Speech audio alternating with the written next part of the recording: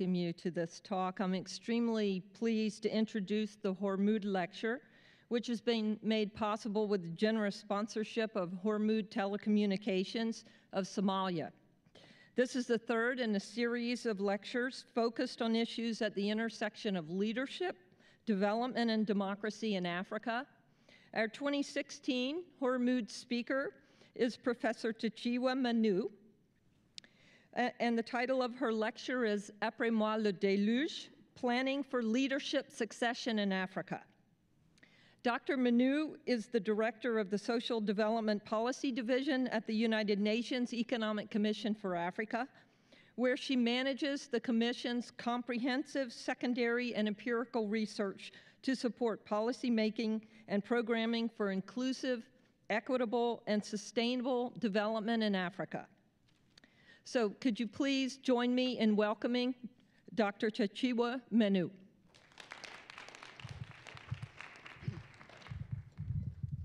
Thank you very much. Good afternoon, everybody. I want to start by thanking the board of the African Studies Association for doing me the honor of inviting me to give this lecture and to thank the Hormuud Telecom for the work that it continues to do for the people of Somalia.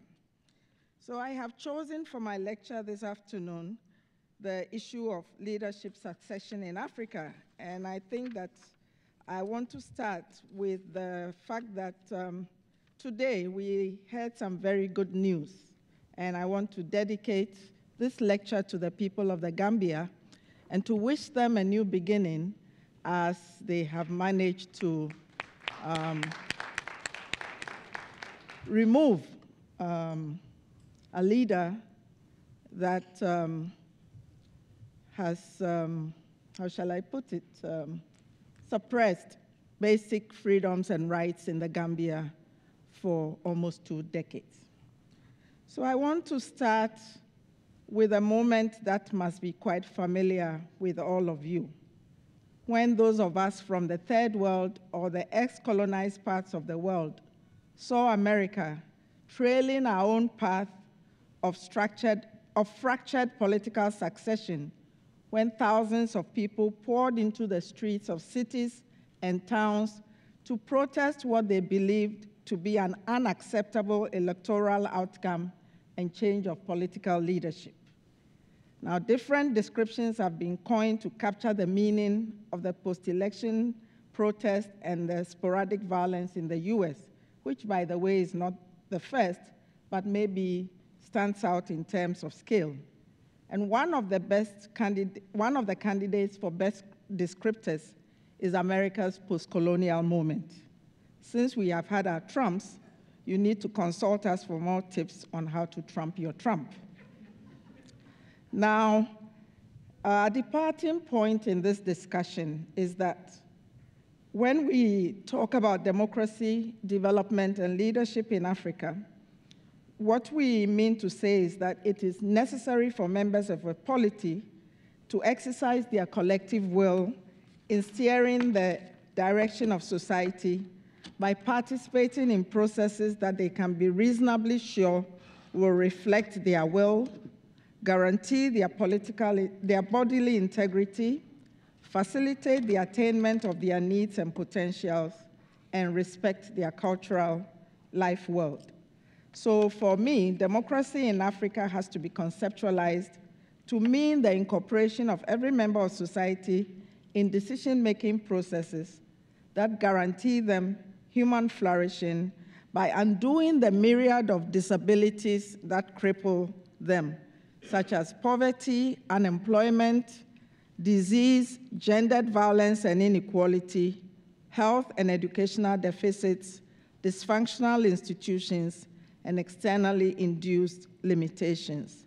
And leadership here is understood to mean the galvanization and channeling of collective capacities and potentials to actualize the above ends as collectively determined. Leadership is therefore the expression of a set of collectively defined goals that operationalize development. And the following the following formulation will guide the discussion or presentation. So democracy is conceived here to be fundamentally about active mass participation in formal and informal processes in the given sphere, in the public sphere. Given the state of Africa, which all of you know so well, democracy has to be anchored on the conception, planning, and actualization of social transformation towards the attainment of the well-being of the populace.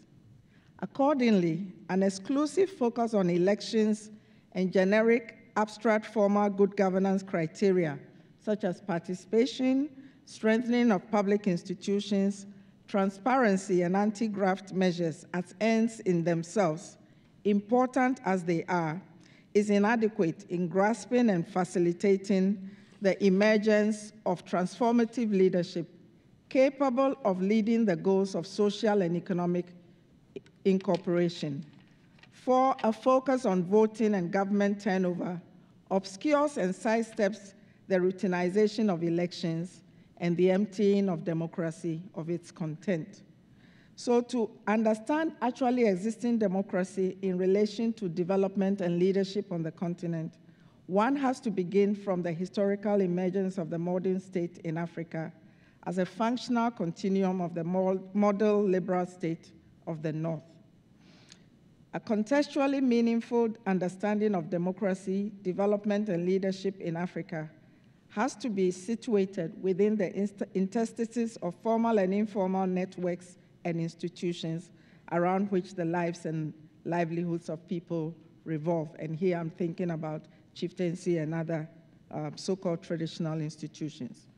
So if we, to begin, I want to focus on the one-party and military states as forebearers of the succession debacle in Africa.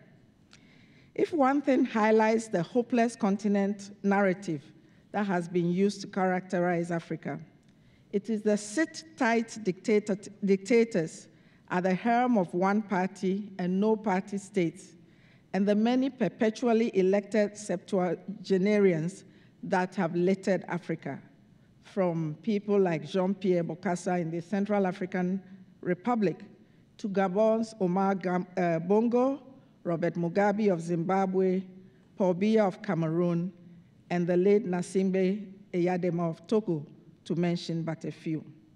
And we can identify two broad routes by which the immediate post-independence leadership class assumed power.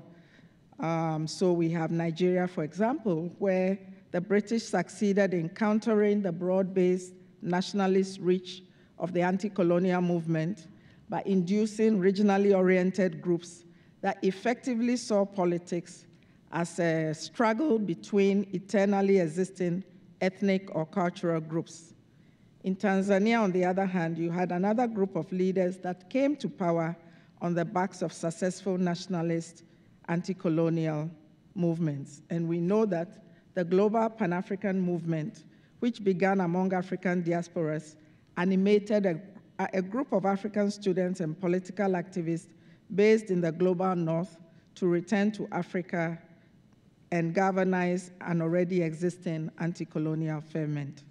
It is important to note that anti-colonialism was almost simultaneous with the very first instant of colonialism. But their route to power notwithstanding, most of the immediate post-colonial leaders saw themselves as the personification of the nation and its interests. And the founding fathers, never mothers, as they came to be known, claimed to embody the nation and countenance no opposition.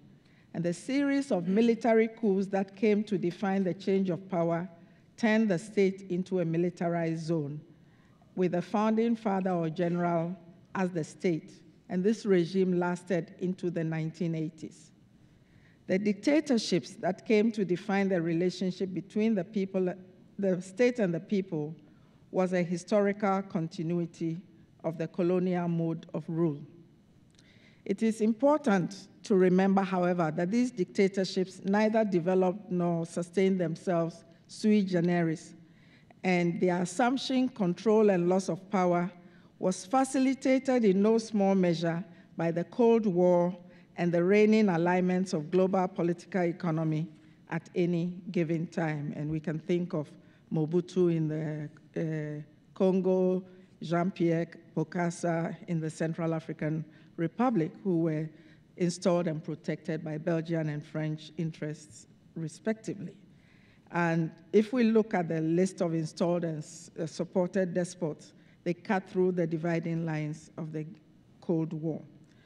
But with any, as with any given exercise of power, the militarized state never had total control over society, and there were different resistance of different um, scales, whether it was public sector strikes, civil society petitions for more liberal policies, or mass pro-democracy uprisings. However, the minimal successes and at times the outright failure of the fathers of the nation to guarantee employment, quality education, healthcare, and social and physical amenities meant that their legitimacy became progressively questioned, and the unconstitutional route by which the military regimes came to power further rendered them as regimes of sheer power with very few bases for legitimacy. So in the late 1980s to early 1990s, we had popular uprisings that swept away most of the one party, no party, and military dictatorships. And today, one would be hard pressed to locate a military regime on the continent. Elections are held regularly across the continent, civil rights are formally uh, guaranteed and sometimes respected, the media is vibrant and critical of ruling regimes. The judiciary has proven reliable and a brake on executive excesses in many countries. And to a large extent, civil society is blossoming. The transition that brought about these changes typically saw the military ruler transform himself into a civilian president by getting himself elected. And the process involves sometimes the organization of national conferences as happened in most of French speaking Africa, where constitutions were drafted or amended. So today, elections are staged regularly, but in a particular fashion, with inbuilt advantages for incumbents, ensuring that they take the lead before election day. In Ghana, for example, elections happen regularly, with party turnover having happened thrice, and Ghana is celebrated as a model for democratic governance. The question, however, is what is the content of the democracy in Ghana and elsewhere where elections happen regularly? From the living standards of the people that gives birth to widespread discontent, it is obvious that democracy has very little substantial content. Elections have largely become ends in themselves. And this much is inadvertently perpetuated when we focus um, on term limits without asking what the term is for and what the limits seek to protect beyond the change of faces. The emptiness of the democratic option means that political parties do not exist as sites for the generation of ideas, political alternatives, and social mobilization, but exist as electoral machines largely dormant in between polls. And to, to make the point, it's, it's important to look a bit at the state of the continent. So again, turning to the Economist magazine, um, in its 13th May 2000 edition, it had a screaming cover page called The Hopeless Continent. And this sentiment was shared by many in the academy and beyond. But 13 years after its obituary to Africa, The Economist published a blog entry on 2nd May 2013 titled Africa Rising, a Hopeful Continent, latching onto the now widespread but contentious Africa Rising narrative. The Economist celebrated what it sees as the rising tide of economic growth on the continent the re reduction in, in deaths from preventable diseases, and the rise of the middle class as evidenced by its purchasing power. It pegs the positive changes on the continent to the institu institutionalization of good governance. So, of the 54 African countries, the economists listed Eritrea, Libya, Somalia, and Swaziland as the only countries without multi party democracy. And the emphasis on multi party democracy and its regular elections are dominant themes of attempts within the continent from the African peer review mechanism and by and multilateral efforts at democratizing leadership. To a, a, large extent, the Africa Rising narrative is correct to the extent that in many parts of the continent, the middle class is rising and the ranks of the rich are burgeoning. But we could ask at what cost? While unemployment is increasing in rural areas due to the collapse of agriculture brought about by decreasing state subsidies and support, urban unemployment escalates as factories close and the informal economy chokes. The rise of the service sector, especially the finance aspect of it, creates jobs in niched areas like banking and insurance and allied fields. Graduates who studied anything from botany, engineering, literature, and marketing compete with each other for jobs in insurance, microfinance firms, and banks, where they are often assigned to either recruit clients, sit in front desk, or do routine tasks. Those who want to move up the ladder have to save up and undertake specialized courses such as stock brokerage or investment banking. And the dominance of the financial sector as the sole provider of jobs de-emphasizes important technical skills that are needed for transforming African societies. Technical education lacks in funding and priority. Deindustrialization means that technical institutions have no link to industry, an important relationship that sustains both skill and industrial development.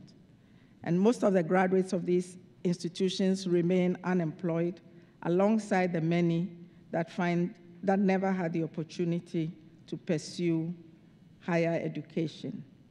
And the, in, you know, the fact now is that inequality threatens the democratic experiment in fundamental ways that peaceful elections can, only, can have only tenuous legitimacy in the midst of such mass poverty. When the populace perceive their votes to be a tool that enables a group of elites with cohesive interests that are antithetical to theirs to lay hands on public resources, even the sustainability of the polity becomes fragile and this much is known to you in America after the riots that accompanied your recent elections. The fact that a significant number of people poured into the streets in what is referred to as an old democracy with established rules and societally accepted norms of political succession speaks to the need for democracy to have substantial meaning for the lives and livelihoods of people. Malnutrition, youth unemployment, poverty, illiteracy, substandard education, and deaths from preventable disease remain major questions across Africa. And youth unemployment and underemployment rates are not doused by the unsustainable jobs that governments create on the eve of elections, only for those jobs to fade away midway into their tenures. Rising costs of education, and manageable teacher student ratios, the paucity of facilities and materials, and inadequately trained instructors make it nearly impossible for the children of the poor to acquire proper education in the public sector schools, while the better equipped private institutions are simply beyond their means. Now, when we um, link this to the question of gender and youth, we see that decades of struggle by women in Africa have highlighted and made some gains against the scourge of patriarchy, structural discrimination, and inequality. Gender mainstreaming, gender sensitive policies, and gender studies centers in universities are common features of public life on the continent. In spite of these forward steps, gender justice remains far from being achieved in Africa as everywhere else in the world and women's issues and female political actors remain underrepresented in political discourse and political office. And in some instances, we've seen the conscious deployment of women to public office, but this is often at the behest of party big men for purposes that have little to do with women's empowerment. And similar non-representation is also engineered for the youth.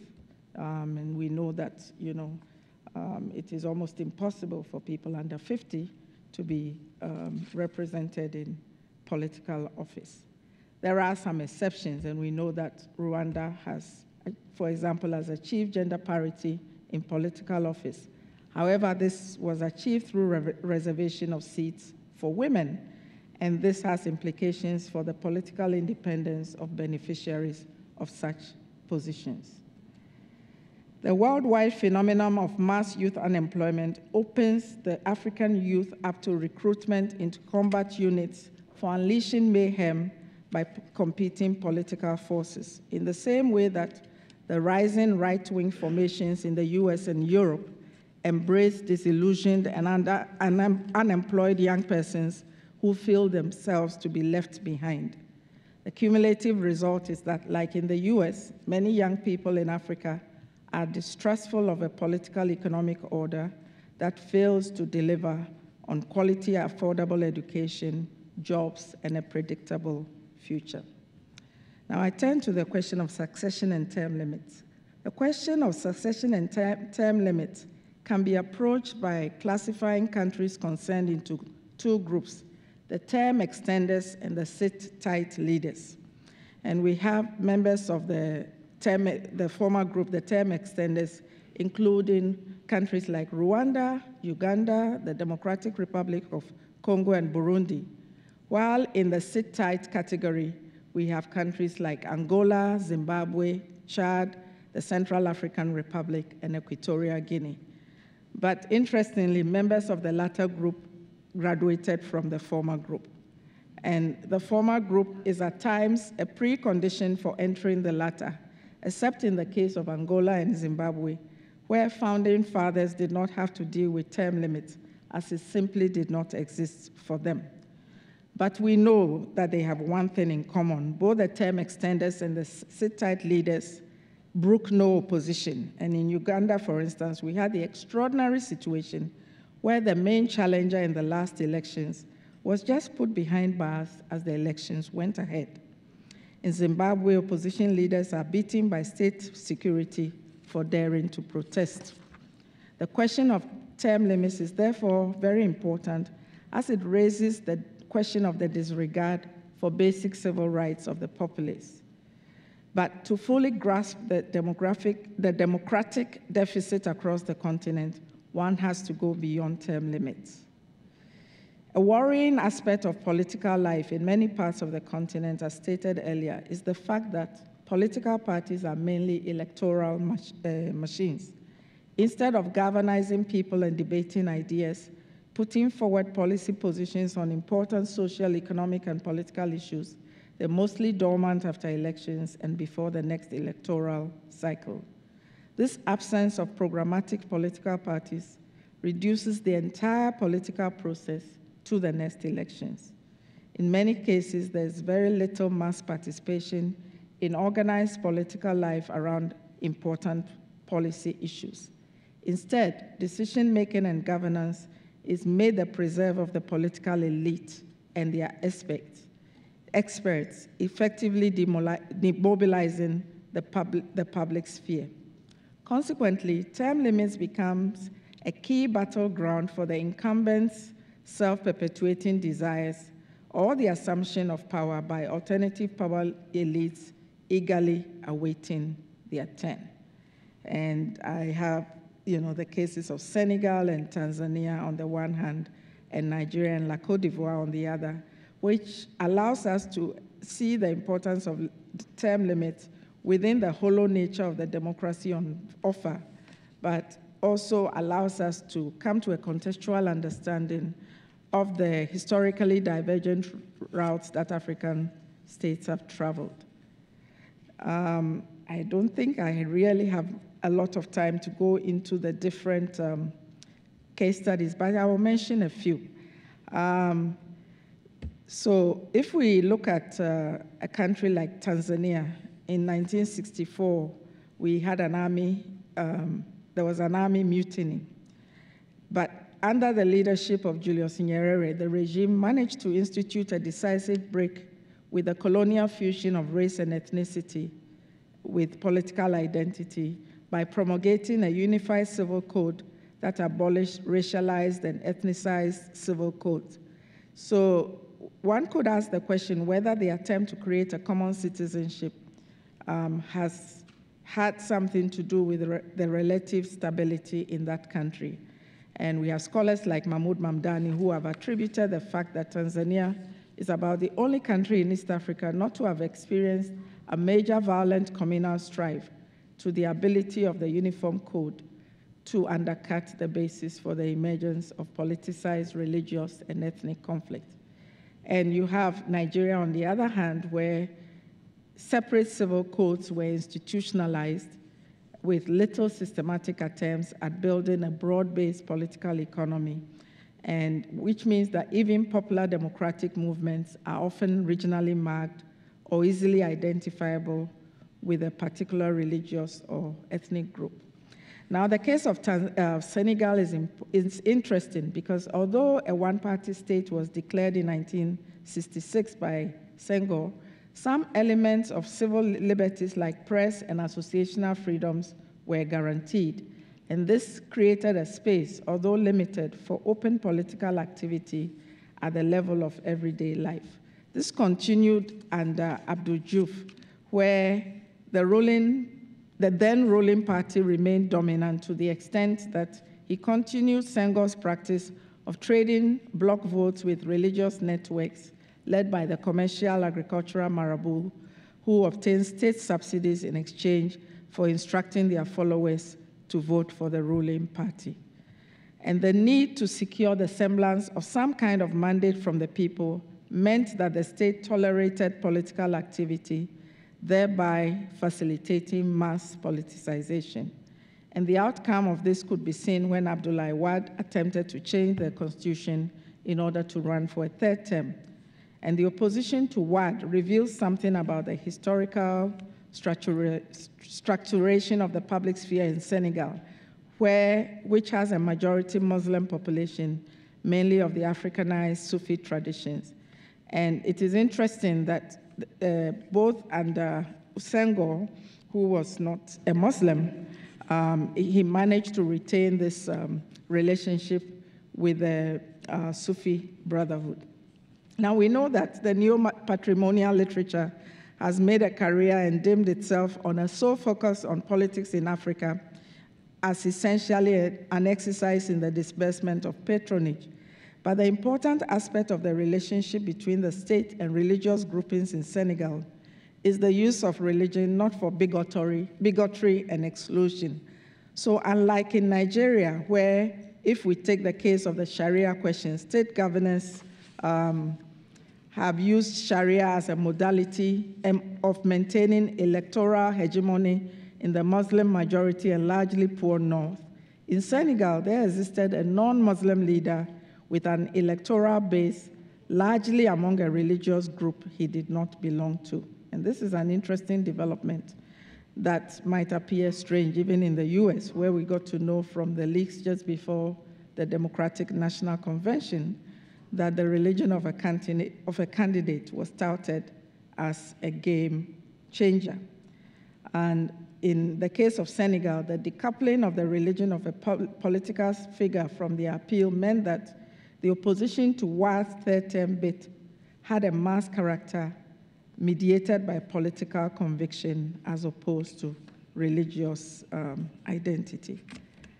Um, he skipped um, Nigeria, but what, what um, I just want to say about Nigeria is that um, up until um, last year, power sharing was adopted by the elite across supposed ethnic and religious cleavages to deal with the taken for granted ethnic religious democracy. And you had the then ruling People's Dem Democratic Party, which had been in power from 1999 until 2015, which decided to rotate power between the North and the South after every eight years where, so democracy and democratization was largely about who was in power, while meaningful democratization happened largely at the level of civil and political society through local youth and women's groups like the Occupy Nigeria movement, etc. And what, what it meant was that the abstraction of formal politics from everyday life distance the people from formal political leadership. Now, um, so if we go back to the adherence of a sole focus on succession and term limits and their subsequent verdict that democracy in Africa has failed, we can say that they, have, they are wrong, even if they take their measure of democracy, that is an institutional approach. And we can say that Africa is actually experiencing the opposite of the failure of institutional democratization. As I have stated, elections happen regularly, there are fairly credible electoral bodies, robust media and civil society, and independent judiciary in many parts of the continent. And this is no sign of the failure of formal democratization. What is interesting, however, is that the struggle over term limits is indicative of the loss of hope in the ability of elections to do away with ruling regimes. Indeed, the high stakes placed on elections as the route to power means that most of the political contestations are around the control of the mechanics, mechanisms for electoral victory, such as voters' roll verification and the eligibility of voters, with the most important question remaining the meaning of democracy, that is, its social and economic meaning. Which brings me to the question of choiceless democracy. So I argue that the limited substantive democracy leads to a situation of continuous crisis that is suppressed only to burst out in high tension moments like election periods and to over time discredit the entire political system. So while, when the populace see their votes securing comfort for elected officials, their families, and hangers on, while they wallow in poverty, maintaining peace and good order will require some measure of coercion. And this is where the overstayers call on the specter of instability to legitimize their stay on the need for stability but do not create and sustain um, stability. So, important as the issue of term limits and regime change are for peace, stability, and the confidence of the electorate in the democratic processes, they do not guarantee democracy even when they work perfectly. As we know, elections sh should be the culmination of a democratic process with prior conditions like public transparency, free and hindered participation of all in decision-making process, which of course requires access to information and knowledge to process such information, and functional institutions that live, outlive their occupants. So is there an alternative to this um, kind of situation? Now, in keeping with global trends, we can see that popular movements across Africa have been severely weakened by the years of adjustments and deindustrialization, mass retrenchments, and state repression and suppression. And the last continent wide popular mobilization ended once the second independence or the dawn of democracy was installed. So, everyday questions of survival have become individual issues, actively diverted from their structural um, determinants by the neoliberal order, which also um, operates around um, Africa. And um, the Arab Spring in, Af in, North Africa has come and gone, and there appears to be little organized alternative to the choiceless democracies that we have. Of course, it is important to remember that even the choiceless democracies did not come on a silver platter and that people actually lost their lives um, from Nigeria to Egypt to La Cote d'Ivoire, etc. It took a sustained struggle to usher in the democracy that has so far failed to secure the livelihoods, bodily integrity, and aspirations of millions. The lessons of that limited achievement is that popular mass mobilization is still relevant in bringing about widely shared social change. And the current question of leadership and transformative development is a continental question. With different degrees, one can even say that it's a global issue as we see the US and Europe lurching towards the unknown. We do not have enough grassroots organizations with a continental reach that can animate Africa as it did for the anti colonial and the pro democracy movements, respectively. But what we see are small pressure groups of women, the urban unemployed, farm workers, street traders, unemployed graduates, among many other groups in society. And in the climate of the victory that proud mobilization ushered in, in the form of choiceless democracies, we can push the limits of liberal democracy by making demands that advance the struggles of ordinary people. So in Ghana today, we have a young lawyer who is making the case that the right to food is justiciable, although it appears in the widely assumed non justiciable directive principles of state policy of Ghana's 1992 constitution. The legal instruments that came about as a result of the struggles of ordinary people and consequent conscious merging of struggles ranging from um, domestic violence, unemployment, anti land grabs, and different forms of um, struggles against um, the militarization of Africa have to be utilized and broadened. So, for democracy to be meaningful in our setting, it has to be linked to the foundational question of what a society means in Africa with, a, with our kind of history and current reality, and the formal and informal networks that govern the lives of ordinary people, which is primarily about sharing and solidarity. So, in the absence of any form of welfare for um, the majority of the population, the poor in Africa survive on the backs of solidarity and sharing. Rural economies, just like urban survivalist economies, are not devoid of conflicts, power struggles, and differentiation. Nonetheless, they contain seeds of mutuality and openness to difference of origins and orientations imposed by interdependence, which is, makes it possible for contradictions to be managed. There are lessons to be learned from these popular spaces on how to create polities that combine participation, livelihood pursuits, and diverse aspirations, to coalescing towards something that one can call development.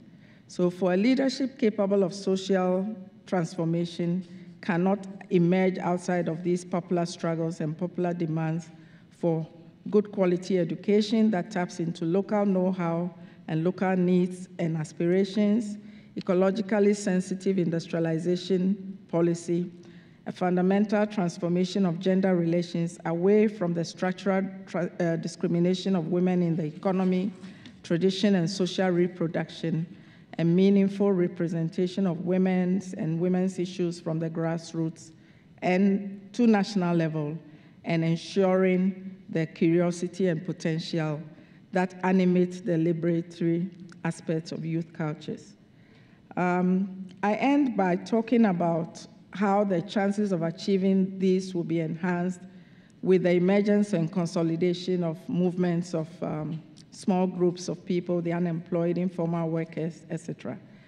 But I also look at intermediate reforms that could curb the impunity and winner takes all syndrome in many countries, such as the institutionalization of proportional representation, the need for coalition building that could potentially strengthen inter party accountability.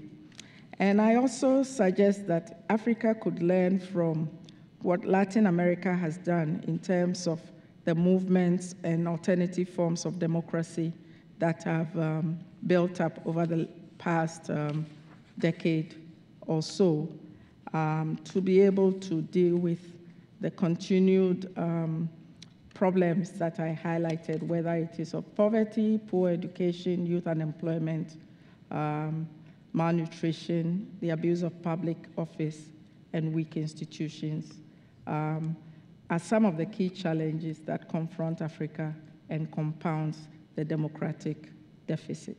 And of course, I mean, the issue of institutions, strong institutions, also have to go hand in hand, including a vibrant media that um, is not uh, captured by dominant interest, but can align the, itself to the needs and aspirations of ordinary people. So I want to thank you, and uh, I suppose you will have some questions for me. Thank you very much.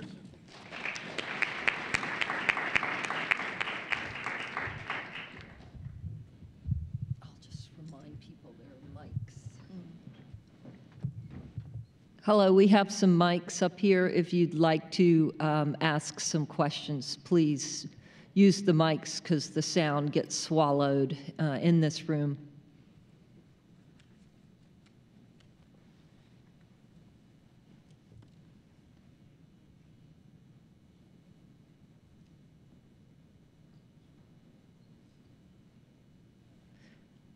I'll adopt the chair's prerogative and um, ask some questions. Um, one question I had is, and I think you pointed this out in your lecture, that the middle class in Africa, um, on the one hand, we can recognize that it's rising and, and marvel at that uh, process, but on the other hand, the middle class seems uh, quite vulnerable, whether we're talking about South Africa or Zambia or Senegal. And I was wondering if you could address um, ways that the middle class might be made less vulnerable. What, what needs to happen there? Um, what opportunities are, are there or might emerge um, for stabilizing um, the middle class. And clearly, this also ties in with democracy, since um, a number of political theorists, not just in the West, but also on the continent, argue that the middle class um, is a vital element of democracy.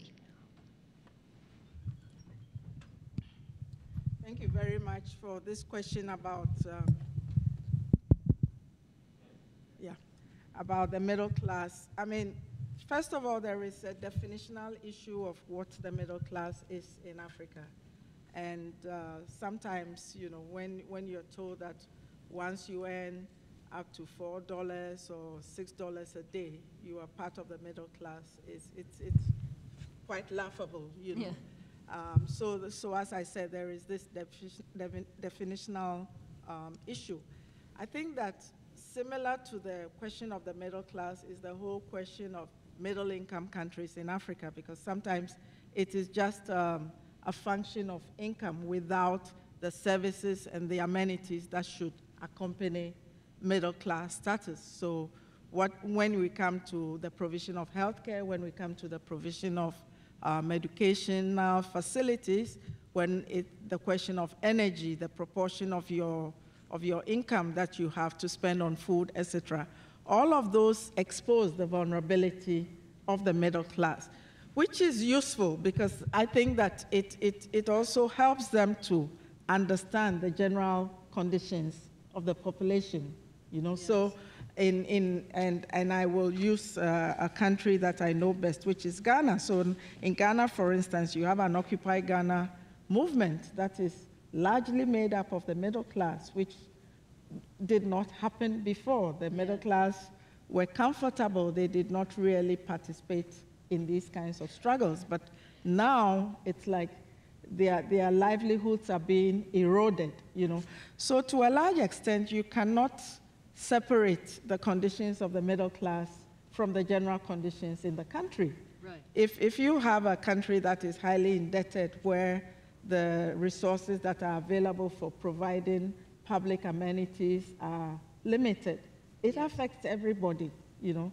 So to, to stabilize um, the conditions of the middle class also means, to a large extent, um, stabilizing the conditions of the rest of the population, ensuring that um, there is domestic food security, for instance, that people do not spend a lot of their of their hard-earned income subsisting on imported food over you know, the prices of which they have no control. So it, it demands a certain um, rearrangement of production within countries, you know, even for the middle class to truly feel middle class instead of, you know, really not being sure of, of, of their positions because um, if, if you have, if you, if energy supply is, is, is so unstable that you're spending such a large proportion of your monthly income just paying your electricity bills, etc. Really, you you really have very little control over, you know. Um, Discretionary. Yes, and yes, and then you cannot save much, etc. So it's it's almost like a chicken and egg situation, and I so I started with the definitional issue of who was who is really middle class. What what does it mean to be middle class in Africa, as in many other countries, you know? But importantly, if you do not have the infrastructure even to sustain that, it makes it really very difficult.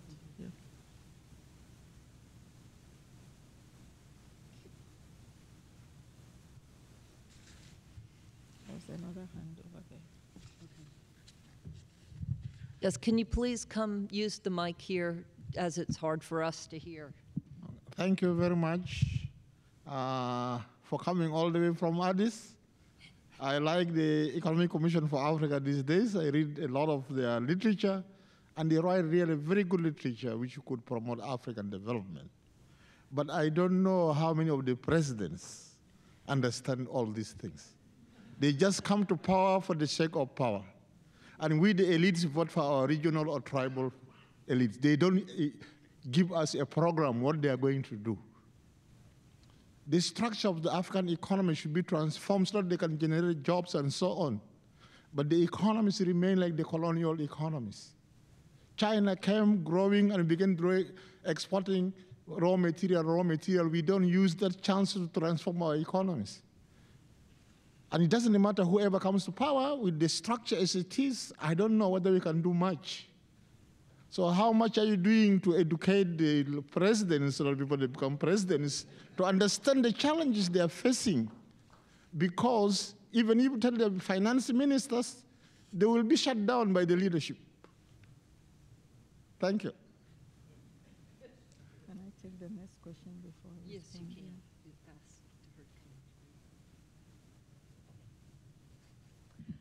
Yeah, um, thank you, Doctor, for your talk. Um, I was really impressed. Um, I would like to know, um, I, I, I know and I think that this um, third termism in Africa has become a problem and a challenge to um, our democracy, which normally goes against the will of the masses. So in your paper, Please, um, can you tell us, or were you able to um, make recommendations on how to address such problem in Africa? Thank you.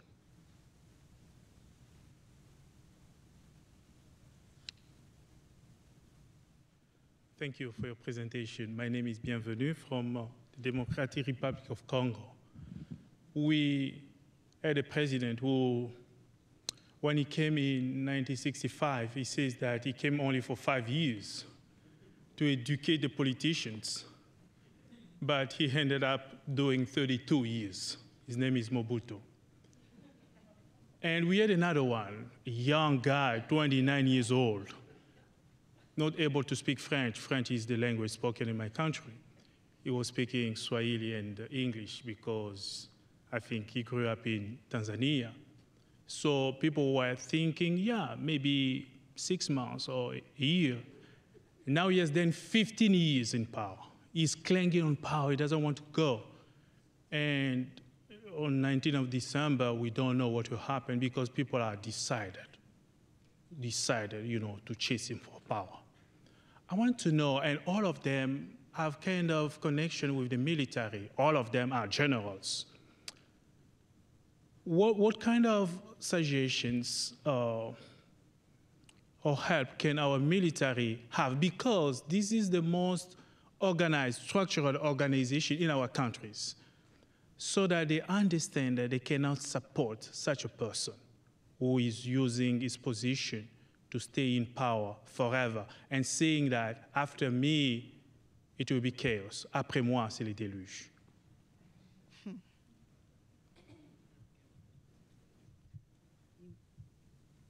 Maybe take one more, Yeah. and then, because we're getting close. Yes, okay.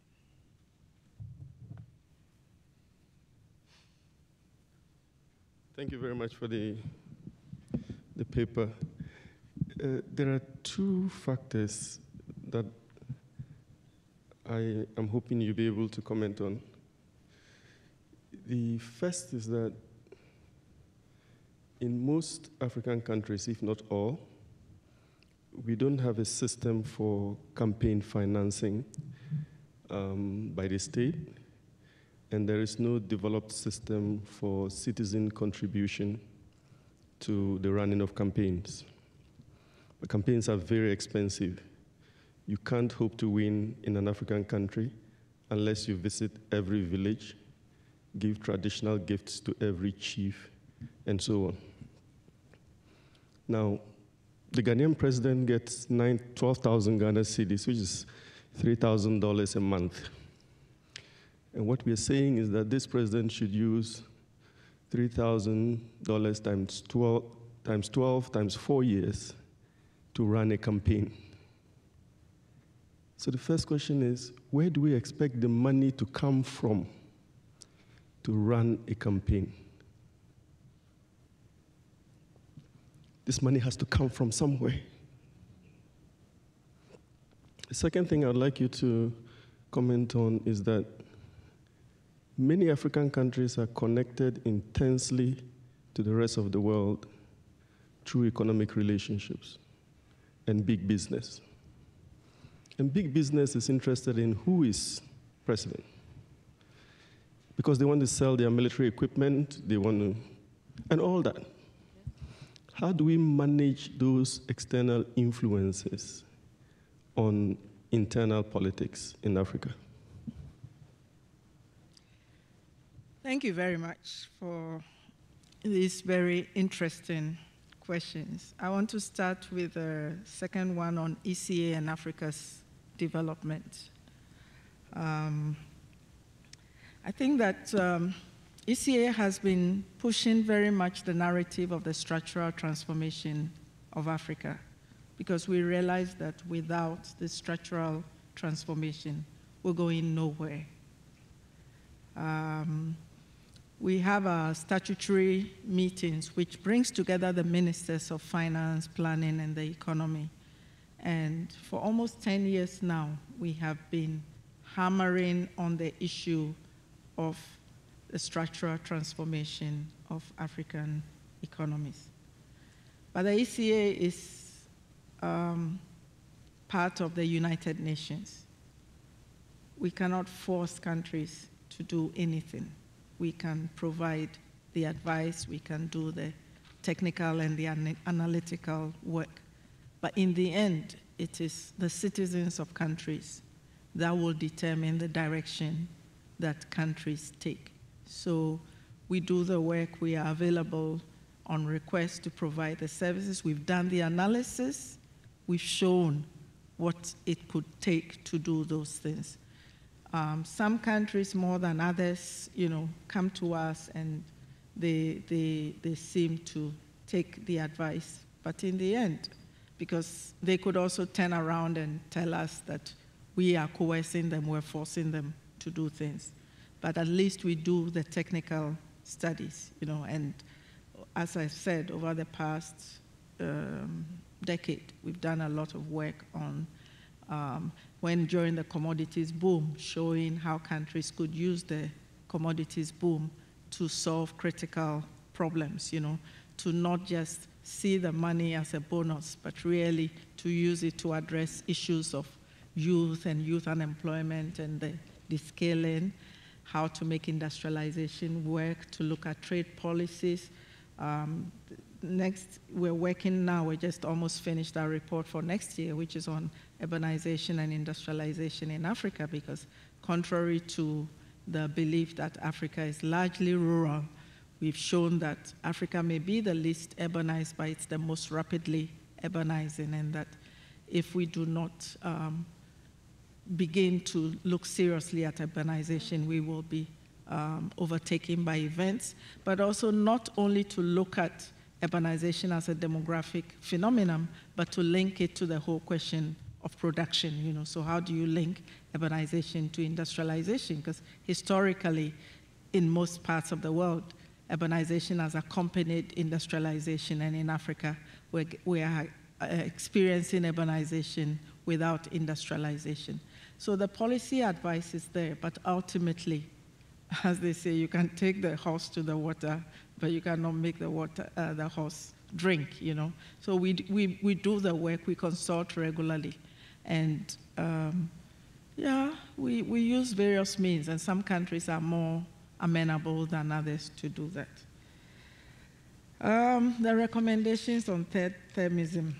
Um, well, as I've said, I think that yes, we, we, we have to understand what, what the struggle over term limits are, but we also need to go beyond the term limits themselves, you know, and uh, um, in, in many of our countries, you know, I mean, first of all, in, in, in some countries it is simply not possible because they have a constitutional um, provision about how long a country can be a government can be in office for, etc. So ultimately, it's back to what is happening within the countries. What are the, how people have organized themselves, how they are really um, making coalitions to try to deal with the questions of how long somebody stays in, in office for. Um, and, and it is linked to the question that was asked about the DRC and uh, first Mobutu and now Kabila, and the role of powerful institutions like uh, the military, etc. Because you find that where the legitimacy is very scant, that is when you are going to ensure that you know you you have the military and the use of force and coercion on your side, you know, to to really um, thwart the will of the people. There are, of course, no easy answers. If there were easy answers, the, the people of the DRC would have found it themselves long ago. Um, but we also have um, regional institutions such as the African Union, etc., which so far have not proved to be decisive in really getting these countries not to go ahead with what it is that they want to do. And, and I think that um, again, this, this, this kind of control, I mean, the DRC is a, is a, a peculiar place. When I say peculiar, I don't mean that it, it stands, it's, it's different from the rest, but it's, it's very, really very sad that, you know, throughout its period of independence, it, the, the people have not been able to express their will, and that um, in the Mobutu case because of the Cold War politics that was played. So it was beyond Mobutu himself and internal factors. There were also external factors at play. It is a prize. It is, you know, whoever controls the, the, the DRC really um, given the resources that the country has. There are many, and, and it, it, it, it, it takes in uh, the last question that Raymond raised about, you know, economic relations and big business, etc. And it, it means that despite the lip service to democracy, etc., Kabila can be tolerated because he allows all the people, all the uh, corporations that have controlled DRC over the years to continue their rule. So the people, the, the Congolese people are, are just pawns in this big power game, you know, which allows the country to be ruled just to profit, you know, a very small clique of people. The military are, uh, it's, it's a very, how shall I say? I mean, you, you don't want the military to take over in the DRC, you know. Um, and it, I think one of the problems also in the DRC has been the fracturing of the opposition often to, to unite. I mean, this morning people were saying how did it happen in the Gambia? Yes, of course, I know that the Gambia is like a small village in the DRC, but still, you, you had the reason why this um, new person has won is that all of them coalesced around one person to challenge, you know. So I think that it goes back to what kinds of, what forms of organization, including within the military to subvert this kind of hegemonic uh, bloc that uh, both Kabila and before him Mobutu capitalized on to, to um, continue the rule that they have had for so long. Um, this issue about campaign financing and citizen participation, I think that it is not only an African problem. I think the, the recent elections in the US exposed it as a global problem, you know? And, and, and so it's not, it's not peculiar to African countries, it is not peculiar to small countries. So I think that we, Raymond, my question, my answer would be that we have to devise um, another form of, of, of campaigning that does not really depend on this money because presidents box themselves into situations where they are like Father Christmases, you know, going around promising things as if the money is coming from their pockets, you know? So nobody is expecting anybody to use their salary to run any kind of campaign. You should you, you run a campaign on policies, not on your on the money that you have. And in any case, governments don't do that. It's, it's the power of incumbency. They don't pay for the fuel that they go around the, the villages for, you know? So I think that it is irrelevant how much a president earns to the question of campaign financing. I think that we need to really find a way to, to break away from this monetized campaigns, you know, which really becomes um, the highest bidder uh, politics. And I think that what has happened in the US, you know, exemplifies that for, for all of us. Yes, certainly we need to break the backs of, the, of big business, but again, it is how you appeal. If you, if you make the whole, your whole development uh, dependent on foreign direct investment and all of those things, and you do not believe that without that you cannot develop a country, to that extent you also solidify the power of big business and big corporations. So I'm suggesting that we do need to move beyond what we know, you know, and maybe look at alternatives. What happens in other countries? What happens in the Nordic countries, you know? How do they do their um, campaign um, to, to get elected? How do we mobilize people on the basis of ideas and policies rather than on the basis of money and promises about what we will do, as if it is coming from our pockets? I don't think that this is what politics should be. What are the alternatives? And I think that there are no easy answers. It calls for fresh thinking and some trust in people that, you know, because you, you have a situation where if you, if you vote for me, I'll bring you water, I'll do this, you know, etc.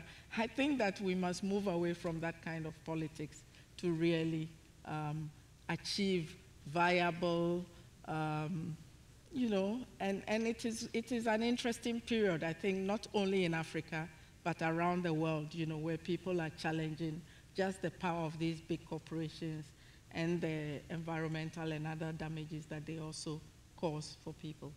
I know that we've run out of time and uh, yes. the chair is looking at me. So I'll have to end.